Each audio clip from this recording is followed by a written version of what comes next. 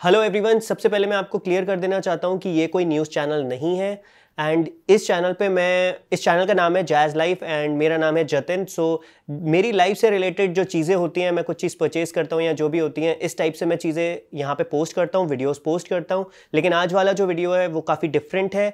लेकिन मेरी लाइफ से जो रिलेटेड होती हैं चीज़ें वो यहाँ पर मैं पोस्ट करता हूँ। एंड ये भी जो इंसिडेंट हुआ है ये भी मेरी लाइफ से रिलेटेड ही है। एंड इसको आप लोगों के साथ शेयर करना बहुत ही ज़्यादा इंपॉर्टेंट है। ये जो अभी आप आगे देखने वाले हो काफ़ी अब आप देख लेना आपने टाइटल तो पढ़ लिया है थंबनेल भी आपने देख लिया है। सो so, थोड़ी सी चीज़ें मैं आपको यहाँ पे बता देता हूँ।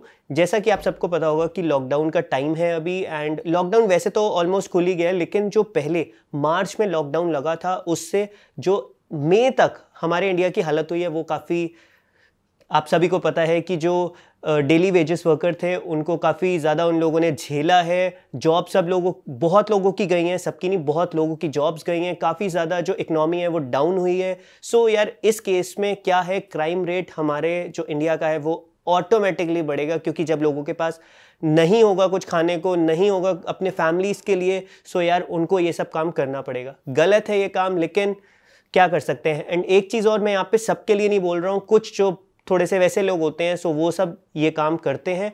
सो so, सबसे पहले मैं आपको शेयर करता हूँ मैंने फेसबुक पे देखा था एक पोस्ट जहाँ पे दिल्ली में एक जगह है जंगपुरा सो so, वहाँ पे आपको मैं कुछ फ़ोटोज़ दिखाता हूँ आप खुद देखना ये है फ़ोटोज़ आपके सामने। सो so, यहाँ पे चोरों ने क्या किया है कि जो गाड़ियाँ खड़ी हुई थी उसके टायर्स निकाल लिए और टायर्स की मतलब ईटे नीचे लगा दी और टायर्स निकाल के ले गए मीन्स टायर चोरी कर लिए। एक नहीं दो नहीं आप देख सकते हो कितनी सारी गाड़ियाँ यहाँ पे। बिना टायर के हैं। तो यहाँ पे एक इंसिडेंट मेरे साथ भी हुआ सीसीटीवी फुटेज है। मैं आपको दिखाता हूँ मेरी सोसाइटी में चार से पाँच जगह जो है वो चोरियाँ हुई हैं।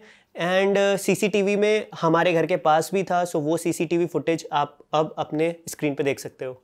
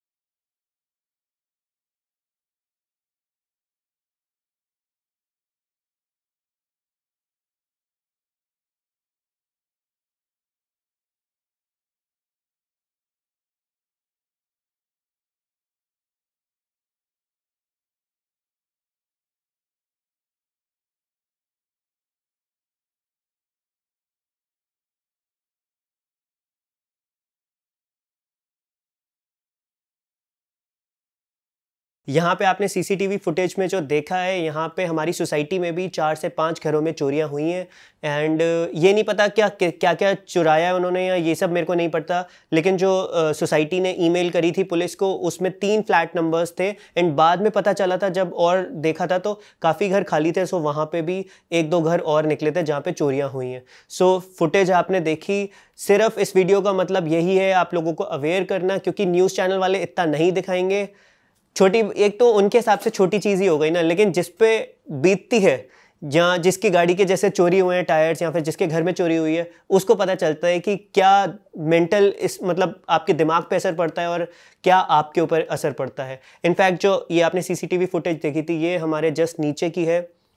बहुत डर लगा था, लेकिन अब क्या कर सकते हैं, बस यही है कि आपको यही अवेयर करना चाह रहा था कि सेफ़ रहना और ऐसी चीज़ों से प्लीज़ बचना, अपना वो बोलते नहीं थे सावधान इंडिया में जैसे आ, सावधान रहिए सतर्क रहिए सो वो यार करना पड़ेगा क्योंकि ये सिचुएशन ऐसी है यहाँ पे क्राइम रेट बढ़ेगा। और सिर्फ़ इंडिया की बात नहीं है बहुत कंट्रीज़ में भी। इनफैक्ट यूएस में भी जब लॉकडाउन वगैरह लगाया गया था सो वहाँ पे आर्म्स की जो गन्स एंड आर्म्स वगैरह होता है उसकी जो सेल है वो काफ़ी बढ़ गई थी क्योंकि वहाँ पे लोगों को पता है कि ज़्यादा क्राइम बढ़ने वाला है। वहाँ पे इतने लॉज नहीं है इंडिया में है सो इंडिया में तो इतनी सेल नहीं बढ़ी या ऐसी कोई न्यूज़ मैंने नहीं पढ़ी। लेकिन थोड़ा बहुत क्राइम तो बढ़ेगा सो प्लीज़ सेफ़ रखना अपने आप को और अपने फैमिलीज़ को। वीडियो देखने के लिए बहुत बहुत थैंक यू अगर कुछ बातें अच्छी लगी हो तो लाइक कर देना। आज के लिए इतना ही, मिलता हूँ नेक्स्ट वीडियो में।